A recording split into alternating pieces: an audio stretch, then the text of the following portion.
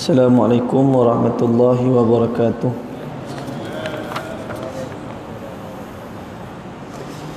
Alhamdulillahirabbil alamin wassalatu wassalamu ala asyrafil mursalin sayyidina Muhammadin wa ala alihi wa sahbihi ajma'in. Rabbana shrah lana sudurana wa yassir lana umurana واحلل عقدة من ألسنتنا يفقه أقوالنا ربي يسر ولا تعسر يا رب العالمين قال الله تعالى أعوذ بالله من الشيطان الرجيم إنما يعمر مساجد الله من آمن بالله واليوم الآخر وأقام الصلاة وآتى الزكاة ولم يخش إلا الله فعسى أولئك أن يكونوا من المحتدين صدق الله العظيم Yang saya hormati lagi saya kasihi imam pengurusi dan ahli jawatan kuasa Masjid Taman Baluk Makmur Muslimin dan muslimat yang saya hormati sekalian Alhamdulillah Allah Subhanahu wa taala memberikan kita peluang pada malam ini sama-sama kita berjemaah menunaikan salat maghrib dan sebelum kita menunaikan salat isyak secara berjemaah alhamdulillah marilah kita sama-sama mengisi masa yang lapang ini masa yang kosong ini untuk sama-sama kita menuntut ilmu berada dalam majlis ilmu yang disebut sebagai taman daripada taman-taman syurga. Muslimin dan muslimat yang dirahmati Allah Subhanahu wa taala. Teruskan kepada perbincangan kitab kita Menyingkap cahaya kebenaran menjawab persoalan khilafiyah dalam kehidupan terjemahan kepada kitab Al-Ajwibah Al-Ghaliyah fi Aqidatil Firqatin Najiyah Pada perbincangan yang dahulu kita telah membincangkan mengenai isteri-isteri Nabi sallallahu alaihi wasallam yang disebutkan dalam kitab ini sebanyak 11 orang. Dan semua isteri Nabi ini yang kita sebutkan selamai 10 orang merupakan uh, yang disebut sebagai yang telah berkahwin dan mereka ini berkahwin selepas kematian suami mereka berkahwin dengan Nabi sallallahu alaihi wasallam. Dan hanya Aisyah sahaja yang merupakan anak dara yang berkahwin dengan Nabi sallallahu alaihi wasallam. Dan begitulah kita lihat dalam isteri-isteri Nabi ini bukan hanya daripada orang Arab saja tetapi ada juga daripada eh, Yahudi golongan Yahudi ha, di antaranya Safiyah binti Huyai bin Akhtab yang merupakan anak kepada ketua Yahudi Bani Nadir. Muslimin dan muslimat yang dirahmati Allah Bersambung perbincangan kita pada malam ini ha, Mengenai apakah hukum Kedua orang ibu bapa Rasulullah sallallahu alaihi wasallam dan sekalian nenek moyang baginda sallallahu alaihi wasallam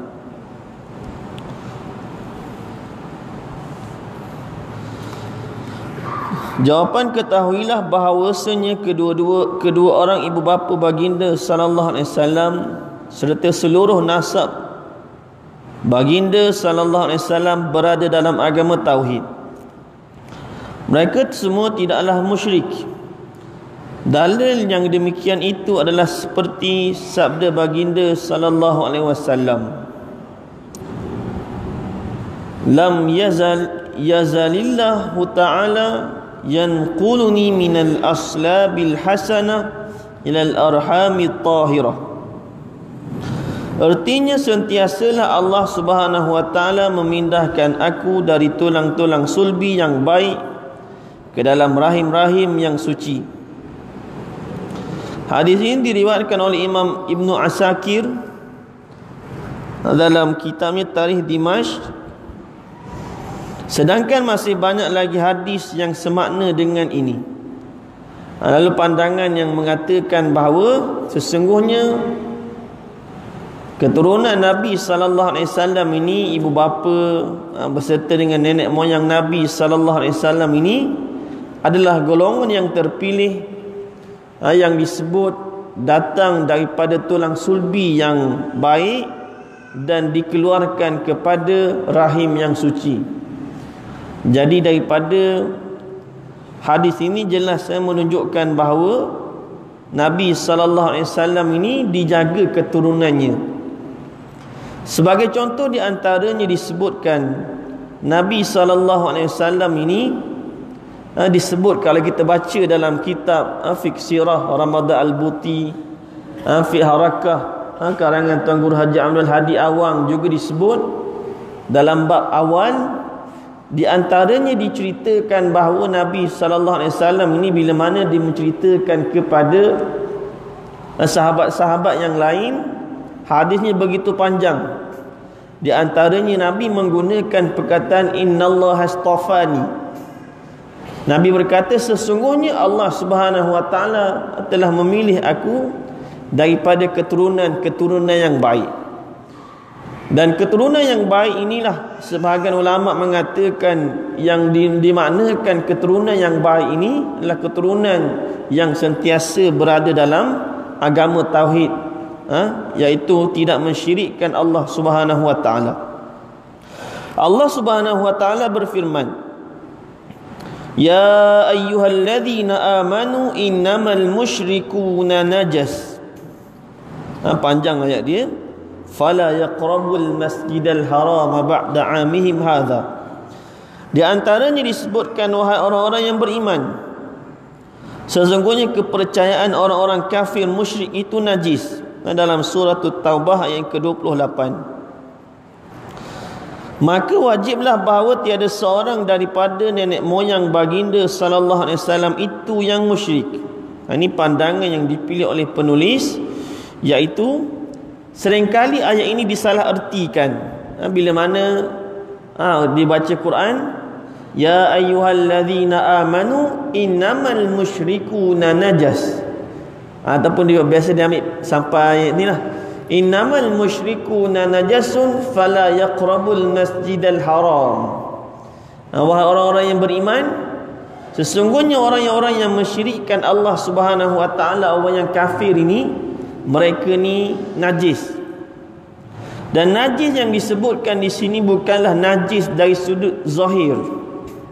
Iaitu mereka ini kita tak boleh sentuh di najis. Oh disentuh babi ustaz. Ha, dia ni main anjing Ustaz bukan. Yang disebutkan najis di sini adalah Akidah mereka ni akidah yang kotor. Iaitu akidah yang mensyirikkan Allah subhanahu wa ta'ala. Dan itulah yang disebutkan Sekiranya eh, Keturunan Nabi ada yang mensyirikkan Allah Maka keturunan Nabi Keturunan yang ada najis ha, Itu di antaranya ulama' mengatakan bahawa Keturunan Nabi ini adalah keturunan yang terpilih yang tidak mensyirikkan Allah Subhanahu wa taala. Kebanyakan daripada hufaz dan muhaddis berpendapat bahawa Allah Subhanahu wa taala menghidupkan kedua ibu bapa baginda sallallahu alaihi wasallam. Kemudian keduanya beriman kepada baginda sallallahu alaihi wasallam. Mereka berhujah daripada hadis Sayyidina Aisyah radhiyallahu anha bahawasanya Nabi sallallahu alaihi wasallam suatu ketika suatu ketika singgah di Hajun dalam keadaan sedih baginda sallallahu alaihi wasallam tinggal di sana beberapa lama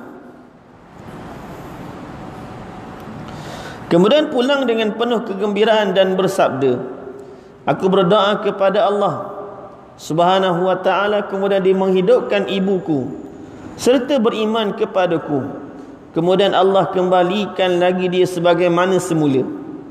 Hadis ini diriwayatkan oleh Ibn Shahin dalam kitab Al-Baghdadi dan di dalam kitab dan Al-Khatib Al-Baghdadi dalam kitab As-Sabiq Wal-Lahiq Darul Qutni dan Ibn Asakir dalam kitab Gharaibul Malik. Ha, ini di antara dan hadis ini ada mengatakan hadis ini terlalu dhaif. Ha, terlalu uh, lemah untuk dipakai dalam bab akidah ini kita tak boleh mudah-mudah untuk kita memakai hadis yang daif. kalau dhaif itu bersifat biasa dhaif itu boleh dalam bab fadailul amal tetapi dalam bab akidah ini mesti menggunakan sebaik-baiknya menggunakan hadis mutawatir hadis yang diriwayatkan oleh ramai sahabat. Ha? manakala hadis sahih dan hasan boleh digunakan dalam berhujah dalam bab akidah tetapi tidak pada hadis dhaif. Maka ulama mengatakan ini merupakan hadis yang dhaif. Jadi sekadar kita ambil tahu je tetapi tidak boleh berpegang kepada pandangan ini. Imam As-Suhaili meriwayatkan sebuah hadis dalam kitab Radul Unuf hadis daripada Sayyidah Aisyah radhiyallahu anha bahawa Rasulullah sallallahu alaihi wasallam meminta kepada Allah Subhanahu wa taala supaya kedua ibu bapa baginda sallallahu alaihi wasallam dihidupkan. Maka Allah Subhanahu wa taala menghidupkan keduanya untuk baginda sallallahu alaihi wasallam dan keduanya beriman kepada kepadanya. Kemudian Allah wafatkan mereka berdua kembali. Hadis ini sekalipun kedudukannya lemah akan tetapi sahih di, di sisi ahli hakikat seperti yang sebahagian mereka isyaratkan dalam sebuah syair ayqantu an anna aban nabi wa ummah ahyahuma ar, ahyahuma rabb al karim al bari hatta lahu syahida bi sidqi risalah haqqan wa tilka karamatu wa, wa tilka karamatul mukhtar. هذا الحديث ومن يقول بضعفه fahuwa dhaif anil haqiqah ari telah aku yakini bahawa ayahanda dan bonda junjungan Nabi sallallahu alaihi wasallam dihidupkan keduanya oleh yang Maha Penyantun lagi Maha menjadikan hatta kepadanya bersaksi dengan kebenaran risalah yang dibawanya. Dan itulah kemuliaan orang yang terpilih junjungan Nabi sallallahu alaihi wasallam. Justru sesiapa yang mendaifkan akan perkhabaran ini maka dialah yang lemah dan kosong dari hakikat.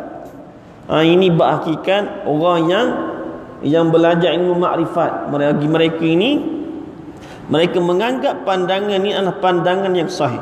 Ha, tetapi secara umum ha, sekiranya pandangan ini hadis ini hadis yang lemah maka tak boleh dipakai. Ha, umum ha, dalam bab kita cerita ha, berkaitan level orang biasa. Lalu bab ini dalam perkara ini tidak bolehlah kita menjadikan ha, hadis ini sebagai dalil mengatakan Allah menghidupkan semula ibu bapa Nabi sallallahu alaihi wasallam. Ha tidaklah kalau riwayatnya riwayat yang sahih maka boleh diambil. Mengenai selamat atau kebenaran akidah kedua ibu bapa baginda sallallahu alaihi wasallam dan sampainya kedudukan keduanya kepada ahli iman adalah wajib bagi kita untuk meyakininya. Kerana yang demikian itu telah disaksikan oleh tingginya kemuliaan dan kedudukan Rasulullah sallallahu alaihi wasallam di sisi Allah Subhanahu wa taala. Jika ada seorang daripada umatnya memperoleh rahmat dari Allah Subhanahu wa taala dengan perantara dan berkat baginda sallallahu alaihi wasallam apa yang tidak dapat dilihat oleh mata didengar oleh telinga dan terlintas di dalam hati manusia maka bagaimana mungkin kedua ibu bapa baginda sallallahu alaihi wasallam tidak mendapat bahagian yang begitu besar ini sedangkan sungguh Allah Subhanahu wa taala telah mengurniakan kepada keduanya iaitu lahirnya seorang yang nantinya menjadi rahmat bagi seluruh alam dari perantara keduanya. Ini disebutkan oleh sebahagian para pensyarah hadis. Di antara dijadikan ha, kenapa orang mengambil pandangan ini oleh kerana mereka mengatakan Nabi sallallahu alaihi wasallam ini boleh memberikan syafaat kepada mereka yang datang daripada umat Nabi sallallahu alaihi wasallam. Sekiranya orang luar Nabi boleh berikan syafaat yang tiada hubungan darah dengan Nabi, Nabi boleh bagi syafaat. Kenapa tidak kepada ibu bapa Nabi sallallahu alaihi wasallam yang datang daripada mereka ini, datang daripada tulang sulbi yang baik, datang daripada rahim yang baik, kenapa tidak mereka ini tidak diberikan kemuliaan seperti mana diberikan kemuliaan kepada umat Nabi sallallahu alaihi wasallam ini di antara pandangan yang dipilih. Adapun saya sebutkan hadis ini dhaif maka kita tidak boleh eh, beramal menggunakan hadis ini. Wallahu a'lam. Pertanyaan yang seterusnya.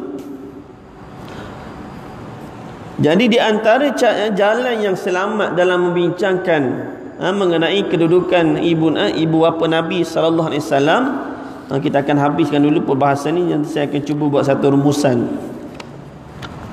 Apakah jawapan tentang hadis yang terdapat di dalam sahih Muslim bahawa ada seorang lelaki bertanya kepada Nabi sallallahu alaihi wasallam di manakah ayahku baginda sallallahu alaihi wasallam menjawab ayahku dan ayahmu berada di neraka. Hadis riwayat Imam Muslim daripada Anas radhiyallahu anhu. So Anas ini merupakan khadam Nabi sallallahu alaihi wasallam. Dia menjadi khadam Nabi semenjak mana dia berumur 8 8 tahun ataupun 10 tahun.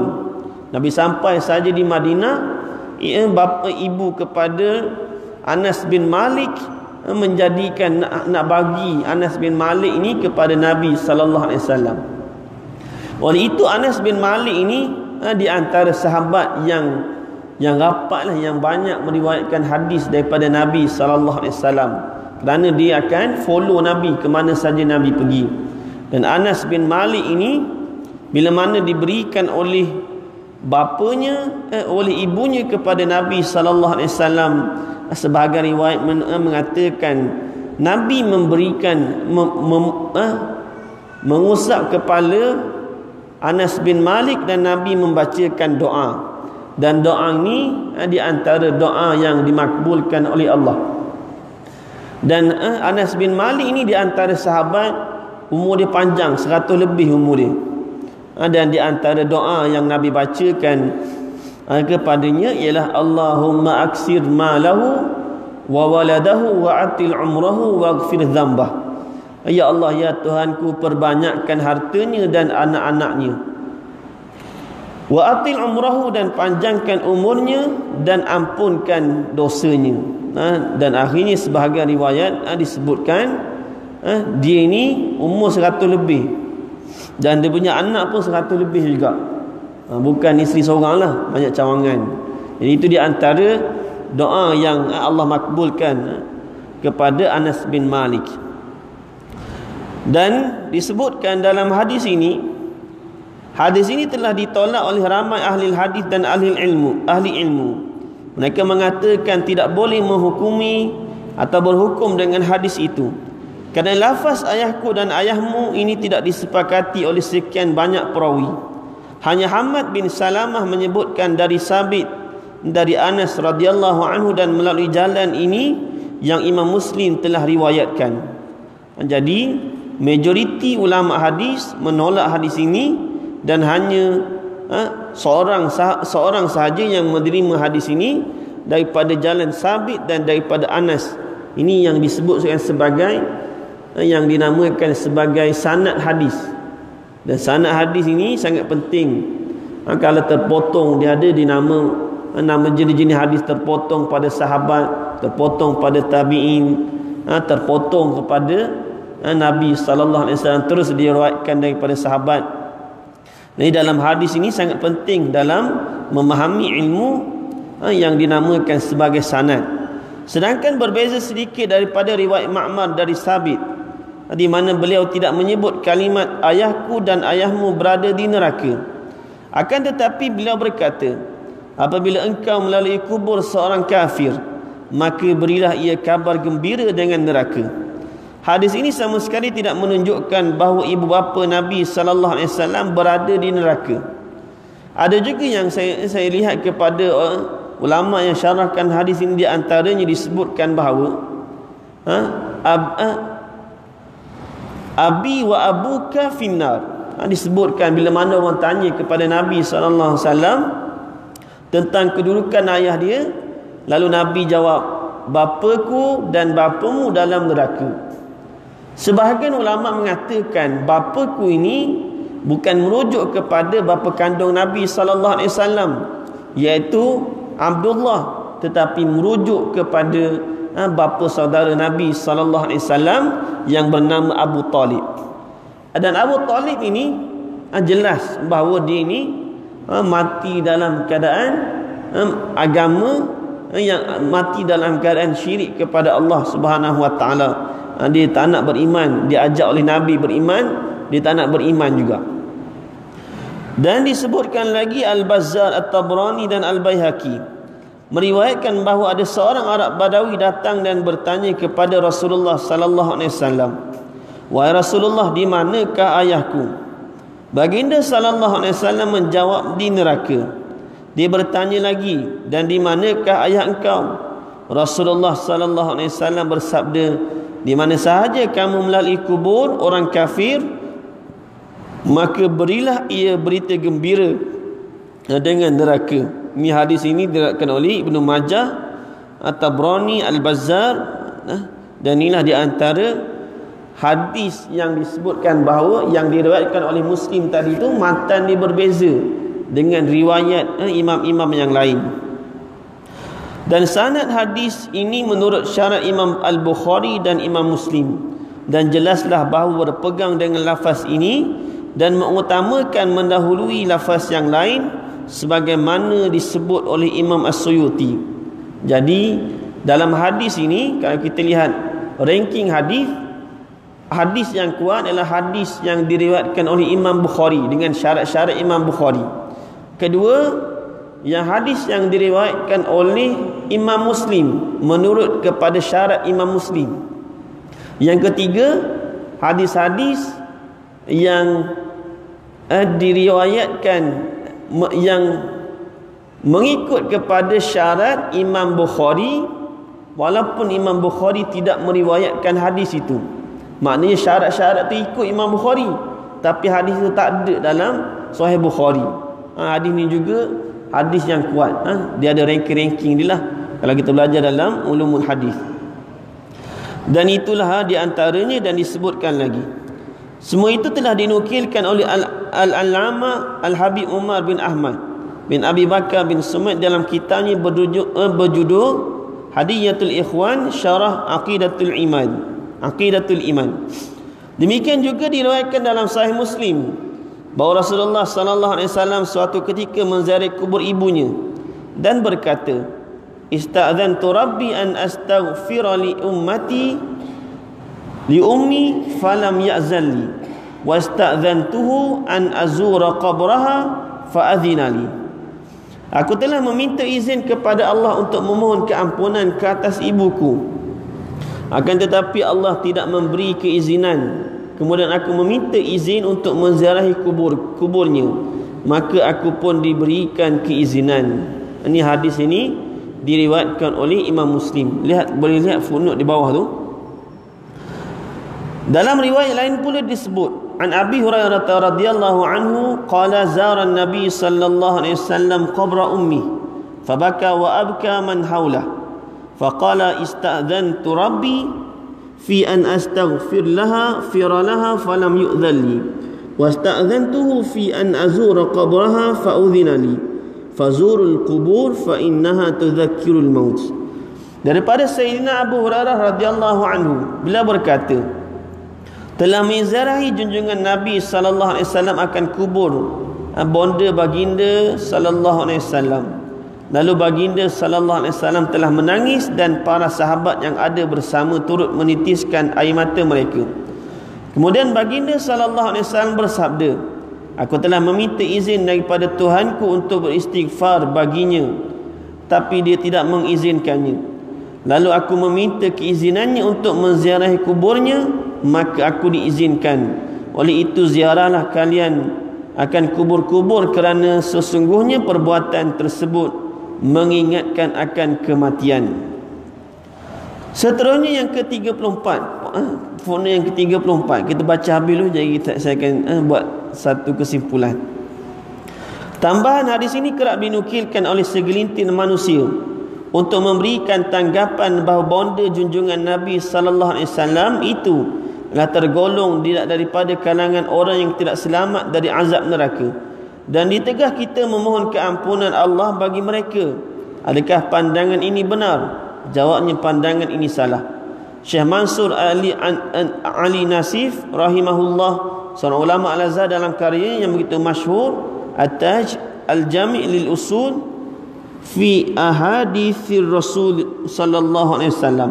Menyangkal pandangan tersebut beliau menukilkan penjelasannya ha, ziaratun nabi nabi sallallahu alaihi wasallam qabri ummi di antaranya disebutkan hiya sayyidatu aminah binti wahbin rahimahullah wa radiya anha ولما زار قبرها النبي صلى الله عليه وسلم بكى لعدم بقائها إلى الإسلام وتم وتمن وتمتعها به ولم يؤذن له تعالى لنبيه صلى الله عليه وسلم في الاستغفار أمه لأن الاستغفار شرطه الإسلام وقد ماتت على دين قومها قبله وهذا لا ينافي دخول دخولها الجنة. فإنها من أهل, أهل الفترة والجمهور على أنهم ناجون قال تعالى وما كنا معذبين حتى نبعث رسولا أي إلى كل أمة بل قد ورد وصح عند أرباب الكشف أن أن الله تعالى أحيا أبا أبا النبي صلى الله عليه وسلم بعد رسالته فآمن به صلى الله عليه وسلم فلهذا كان من أهل الجنة قطعا قال بعضهم أيقنت أن أن أبا النبي وأمه ahyahuma ahyahuma rabb al-karim al-bari hatta lahu syahida bi sidqi risalatin sidqan fatilka karamatul mukhtar panjang mula هذا الحديث ومن يقول بضعفه فهو الضعيف. عن الحقيقة عاري. ولا بعد ولا غرابة. ففضل الله واسع وإكرامه لحبيبه أجل وأوسع. والله أعلم. يعني apakah eh, mak, eh, dalam kitab ini disebutkan mengenai bab satu bab yang disebut sebagai ziarah nabi akan kubur ibunya. Ibu nabi sallallahu alaihi wasallam adalah sayyidah aminah eh, binti wahab rahimahullah.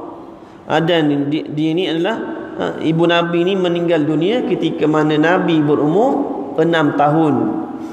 Dan tatkala junjungan Nabi sallallahu alaihi wasallam menziarahi kuburnya, baginda sallallahu alaihi wasallam telah menangis kerana bondanya tidak sempat menemui zaman Islam. Yang dibawa oleh junjungan Nabi sallallahu alaihi wasallam dan menikmati nikmat Islam. Jadi secara jelas apa yang boleh kita ambil daripada perenggan yang awal ini ialah ibu Nabi sallallahu alaihi wasallam tidak sempat berada ketika mana Nabi mendapat wahyu. Nabi dapat wahyu umur 40. Ha, ibu ibu Nabi sallallahu alaihi wasallam meninggal ketika mana Nabi berumur 6 tahun. Ha, jadi ibu Nabi tidak berada dalam zaman ha, Nabi mendapat wahyu.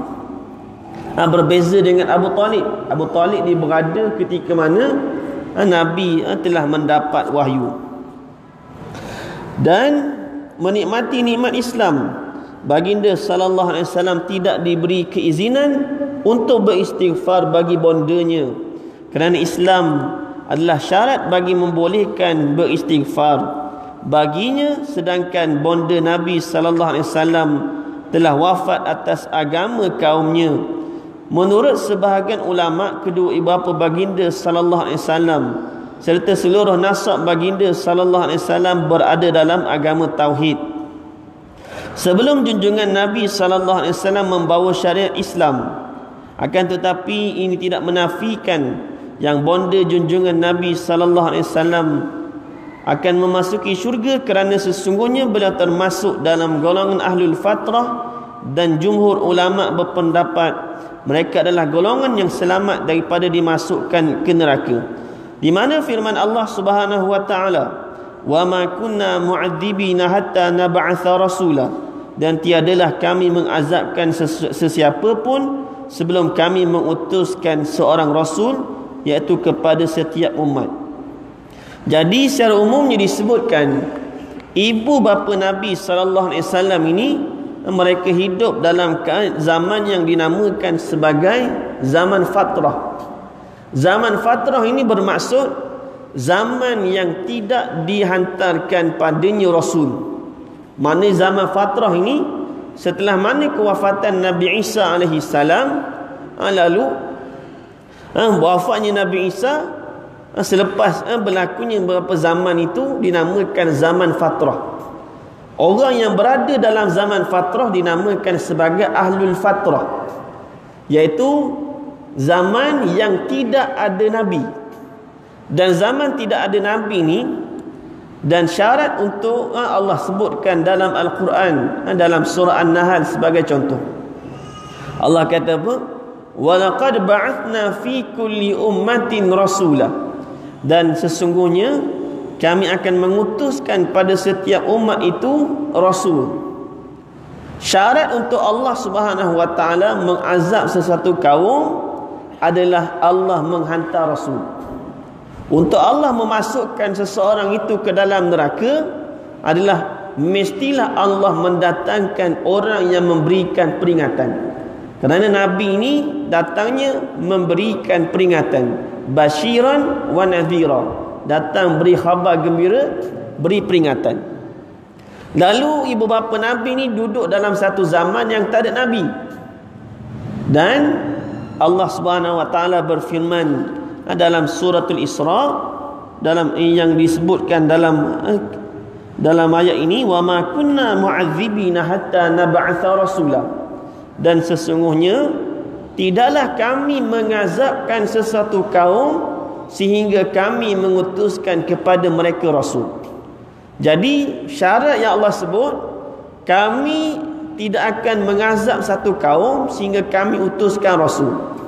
Dah kalau tak diutuskan rasul zaman fatrah maka secara umumnya mereka yang berada di zaman fatrah tidak akan diazab oleh Allah Subhanahu wa taala. Jadi itu jelas ha, syarat untuk diazab mesti datang peringatan. Dan begitulah juga terjadi pada umat-umat Nabi terdahulu. Kalau kita baca dalam eh, panjang ayat ni sebenarnya lebih syarah dia. Wa ma kunna mu'adzibina hatta nab'atha rasula. Wa idza aradna an nuhlika qaryatan amarna mutrafiha fa fasaqu fiha faqa 'alayha al-qawlu fadammarnaha tadmira. Allah sambung ayat tadi Allah kata dan sesungguhnya tidaklah kami mengazabkan sesuatu kaum sehingga kami mengutuskan kepada mereka rasul Allah kata apa? Wa idza aradna an nuhlika qaryah. Allah kata kalaulah kami nak menghancurkan ha, sesuatu kaum satu tempat itu ha, mestilah kami hantar rasul dulu. Bila mana kami hantar rasul fa fasaku fiha. Mereka melakukan kefasikan. Allah hantar rasul mereka buat fasik. Ha, fasik ini bermaksud melakukan dosa secara berterusan ha, Nabi ni ajak bawa beriman pada Allah ditolak sekali tolak tu tak fasik lagi. Ha, dua tiga kali tolak banyak kali tolak itulah yang berlaku kepada umat-umat Nabi terdahulu. Ha, banyak kali mereka tolak Allah ketika itu barulah Allah mengazab mereka fadam marnaha tadmira. Azab yang diterima oleh umat terdahulu dua azab dia. Satu azab kat dunia satu ah satu lagi azab di akhirat nanti ah itu beza ah umat nabi sallallahu alaihi wasallam ini Allah ah, tak kat dunia ni Allah tak bagi lagi mungkin sebahagiannya mereka Allah telah berikan ada majoriti lah kalau lah Allah bagi terus terbalik genting highland tu orang main judi kan Spot toto banyak kedai-kedai spot toto kat Pahang ni. Hancur habis. Kalau Allah bagi cash. Allah postpone dulu tak apa. Ha, nak bagi peluang dia bertaubat dulu. Ha, dan itulah ha, yang disebutkan. Ha, secara umum kita boleh ambil. Dan inilah pandangan inilah yang saya pegang. Ha, yang saya pegang ialah. Allah tidak akan mengazab sesuatu kaum. Sehingga Allah menghantar kepada mereka ini Nabi dan mereka yang berada dalam masa yang tidak datang Nabi dinamakan sebagai ahlul fatrah lalu mereka ini secara mudah tidak akan eh, diazab oleh Allah. Bila sebut tidak diazab tidak akan dimasukkan ke dalam neraka oleh Allah Subhanahu wa taala. Sebagai contoh hadis ini juga dipakai zaman sekarang ini. Sebagai contoh sekiranya ada orang yang duduk dalam hutan. Dan dia duduk dalam hutan tu dan tak ada orang pun yang datang pergi berdakwah kepadanya. Ha, dia tak pernah dengar pun kalimah Islam ajak beriman pada Allah tak pernah dengar. Semenjak dia lahir, ha, dia pakai cawat ke apa ke wallahu alam sehinggalah dia mati. dia tak pernah ada ah, datang kepada dia orang yang memberikan peringatan ayat ini juga terpakai kepada mereka wa ma kunna mu'adzibina hatta nab'atha rasula dan kami Allah tidak akan mengazab seseorang sehingga kami menghantarkan kepadanya orang ah, yang memberikan peringatan. Ah, jadi itu di antaranya. Ha, takkan tetapi kalaulah telah didatangkan kepada mereka ini peringatan itulah orang Islam ini melakukan dakwah ini dia mesti ada satu kumpulan yang melakukan dakwah wal takun ummat wal takun minkum ummah kena ada di antara kumpulan kamu ini orang yang kerja full time buat kerja dakwah. Ha, dan itulah kenapa untuk menyebarkan mesej Islam supaya segenap dunia mengetahui ha, mesej Islam iaitu beriman kepada Allah. Bahkan telah warid dan sahih. Ha, di sisi para awliya yang kasyaf. Ha, awliya ni wali-wali Allah lah kasyaf ini Kasyaf ini iaitu eh, lawan dia hijab. Hijab ini tertutup. Kasyaf ini terbuka. Iaitu orang-orang yang diberikan kelebihan oleh Allah Subhanahu Wa Taala. Dia nampak apa yang orang biasa tak nampak. Ha, itu di antaranya. Bahawa Allah Taala telah menghidupkan ayahanda bagi bonda eh, Nabi sallallahu alaihi wasallam setelah baginda diutuskan menjadi rasul. Lalu mereka berdua telah beriman dengan baginda sallallahu alaihi wasallam. Maka dari itu jadilah keduanya daripada golongan ahli syurga eh, dengan pasti sebagian ulama telah bersyair. Syair telah kita bacakan tadi eh di belakang tadi. Dan hal ini bukanlah suatu yang mustahil dan pelik untuk diterima akal. Kerana sesungguhnya anugerah Allah itu luas dan kemuliaannya kepada kekasihnya adalah sangat murah lagi luas dan Allah lebih mengetahui. Ini kata penterjemah. Tanbih peringatan mengenai persoalan kedudukan kedua-dua ibu bapa Rasulullah sallallahu alaihi wasallam seyogianya kita berhati-hati dalam memperkatakannya.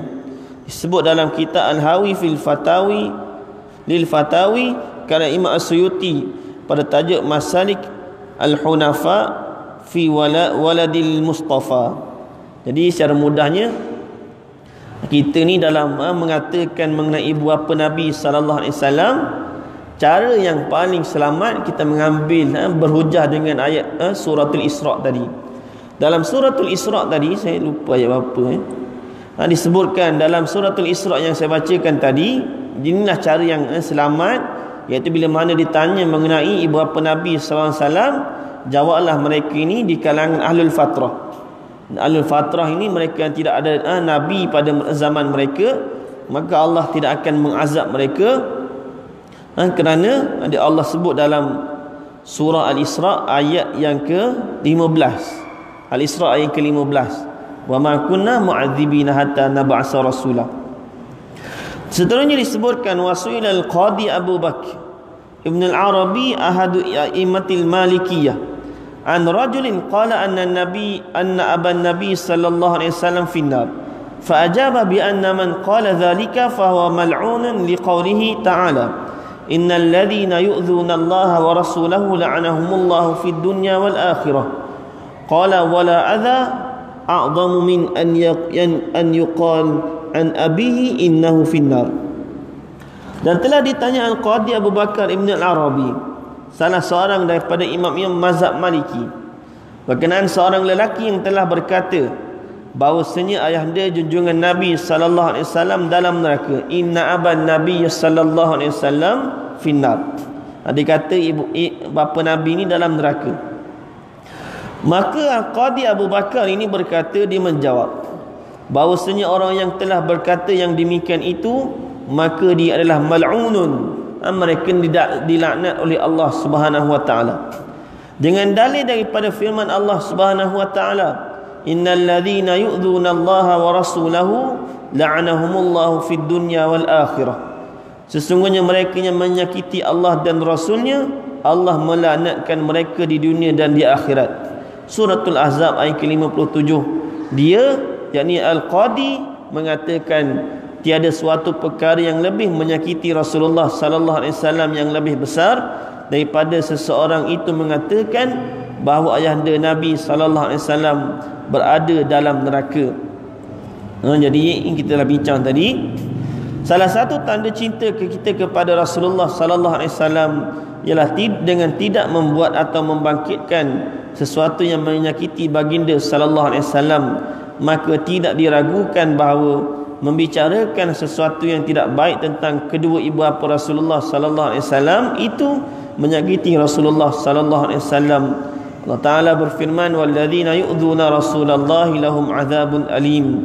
Dan orang-orang yang menyakiti Rasulullah sallallahu alaihi wasallam bagi mereka azab seksa yang tidak terperi sakitnya. Surah taubah ayat ke-61. Begitu jugalah yu'dhuna Allah wa rasulahu la'anahumullahu fid dunya wal akhirah wa a'adda lahum 'adzaban muhina. Sesungguhnya orang-orang yang menyakiti Allah dan rasulnya Allah melaknati mereka di dunia dan di akhirat dan menyediakan untuk mereka azab seksa yang menghina.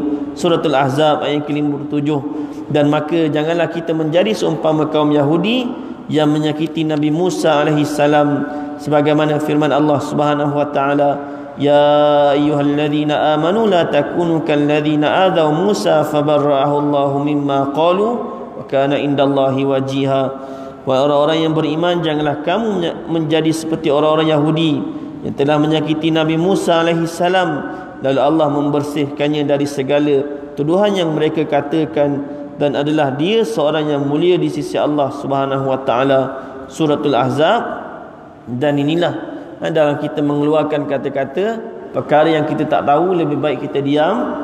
Ha, dan ha, dan itulah saya yang yang saya inilah saya sebutkan tadi saya berpegang kepada dalam suratul ahzab suratul isra ayat ke-15 wa ma kunna mu'adzibina hatta nab'asa rasula. Dan itulah pandangan yang dipegang oleh ulama al-azhar iaitu Allah tidak akan mengazab sesuatu kaum sehingga Allah menghantar kepadanya rasul. Jadi nabi ibu nabi ini dinamakan sebagai mereka yang berada dalam zaman fatrah ahli fatrah maka mereka ini tidak akan diazab oleh Allah Subhanahu wa taala. Fananu la naqulu illa ma yurdi rabbuna wa yurdi rasuluna sallallahu alaihi wasallam wala natajaz wala nataj wala natajjara natajjara natajjara'u ala maqamihi asy-syarif wa nu'dhihi sallallahu alaihi wasallam bil kalam bima la yurdihi sallallahu alaihi wasallam hadis ini ditakwilkan bahawa saat itu ibu apa? Eh, ibu baginda sallallahu alaihi wasallam belum dihidupkan. Serta belum beriman dengan kerasulan baginda sallallahu alaihi wasallam. Dan beriman itu boleh selepas setelah mati kerana sebagai khususiat ke atas ibu bapa baginda sallallahu alaihi wasallam dan kemuliaan kepada Rasulullah sallallahu alaihi wasallam. Dan ada jugalah mereka yang berpegang bahawa ha, ibu bapa nabi ni bila mana telah wafat Allah hidupkan dia semula. Lalu mereka ini beriman kepada Allah dan ini merupakan khususiyat. Perkara yang khusus hanya terjadi kepada Nabi Muhammad sallallahu alaihi wasallam. Ha, terpulanglah ha, akan tetapi ini pandangan yang yang lemah. Maka terimalah kenyataan ini nescaya engkau akan selamat. Wallahu yahtassu bi rahmatihi man yasha. Wallahu dzul fadlil azim. Padahal Allah berhak menentukan rahmatnya kepada sesiapa yang dikehendakinya. Dan Allah jualah yang mempunyai limpah kurnia yang amat besar. Dan eh, sebagai penutupnya eh, boleh lihat footnote di bawah itu dan kami tidak mengatakan melain apa yang diradai oleh Tuhan kami dan apa yang diradai oleh Rasul kami dan kami tidak berani memberanikan diri atas kedudukan yang mulia dan menyakiti baginda sallallahu alaihi wasallam dengan perkataan yang membuatkan baginda sallallahu alaihi wasallam tidak redha. Jadi itulah ha, secara umumnya yang boleh kita dapat pengajaran yang boleh kita ambil daripada peristiwa ini iaitu Nabi sallallahu alaihi wasallam ha, ha, ibu bapa Nabi sallallahu alaihi wasallam saya cuba ringkaskan ibu bapa Nabi sallallahu alaihi wasallam ni mereka ni hidup dan mereka meninggal dunia sebelum kenabian Nabi sallallahu alaihi wasallam sebelum Nabi dapat wahyu. Ha? dia kalau eh istilah kalau sebelum itu ha, tidak ada padanya zaman itu zaman Rasul, ha, zaman setelah kewafatan Nabi Isa dan sebelum kenabian Nabi sallallahu alaihi wasallam kedudukan itu dinamakan sebagai mereka yang berada di kedudukan itu dinamakan sebagai ahlul fatrah. Ahlul fatrah ini mereka yang tidak datang orang yang memberikan peringatan tidak datang para nabi. Kerana ketika itu ha, kenabian belum habis lagi. Lalu nabilah yang akan datang memberikan peringatan. Bila mana tak ada nabi maka mereka tidak akan dipertanggungjawabkan dengan beriman kepada Allah Subhanahu Wa Taala. Adapun ulama ha, memegang pandangan bahawa keluarga Nabi semua ini berada dalam agama tauhid dan ha, bila mana tidak dihantarkan Nabi Allah sebut wa ma kunna mu'adzibina hatta nab'asa rasula dan Allah berfirman dan kami tidak akan mengazab sesuatu kaum sehinggalah kami mengutuskan kepadanya rasul. Jadi sebagai contoh simple mudah Adakah ibu bapa Nabi ini masuk neraka? Tidak.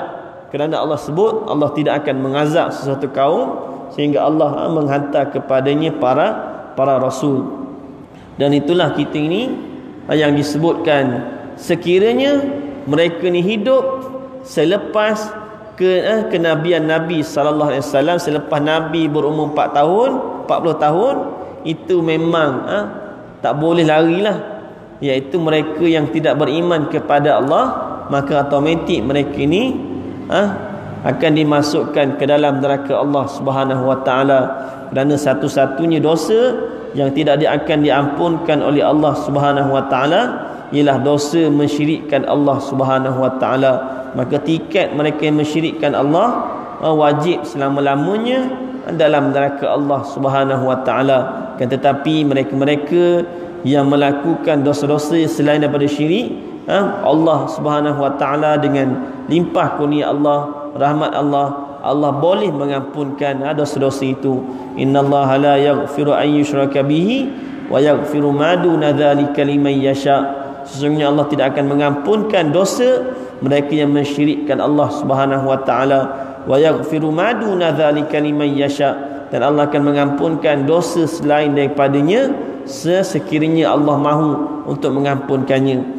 Jadi itulah eh, yang kita dapat pelajari dalam eh, pengajian kita, eh, perbincangan kita pada malam ini mengenai kedudukan ibu bapa Nabi sallallahu alaihi wasallam yang mereka telah meninggal sebelum kenabian Nabi sallallahu alaihi wasallam muslimin dan muslimat yang dirahmati Allah sekadar itu sajalah. Dan insyaallah dalam kuliah akan datang kita akan sambung dalam bab khususian keistimewaan keistimewaan Nabi sallallahu alaihi wasallam apakah yang ada pada nabi dan tidak ada pada nabi-nabi yang lain begitu jugalah apa yang ada pada nabi dan tidak ada pada manusia-manusia yang biasa dan eh, seterusnya kita akan bincang lagi lah banyak eh, mengenai tajuk berkenaan dan Nabi sallallahu alaihi wasallam dan fizikal Nabi, mukjizat Nabi, akhlak Nabi sallallahu alaihi wasallam. Ha? Hak baginda ke atas umatnya dan lain-lain. insyaAllah panjang umur kita sambung lagi. Dan sekadar itu sajalah yang terakhir. Seperti biasalah saya dah buat tabung dan sekolah di belakang tu insyaAllah. Jadi sebelum balik tuan-tuan haraplah dapat sama-sama insyaAllah. Kita bagilah seorang sikit. Moga-moga dapat memudahkan urusan fasa pertama insyaAllah dalam tengah bulan ni kita boleh guna adalah sekali tengah buat wiring dan insyaAllah dapat siap fasa pertama dan saya mengucapkan terima kasih kepada jemaah-jemaah yang telah menyumbang eh, kepada pembinaan sekolah ini dan insya-Allah dalam masa eh, tahun ini jugalah kita akan start fasa yang kedua insya-Allah. Semoga Allah mempermudahkan eh, dan Allah memberikan ganjaran yang sepatutnya kepada mereka yang telah menginfakkan eh, harta mereka di, di, di jalan Allah Subhanahu wa taala.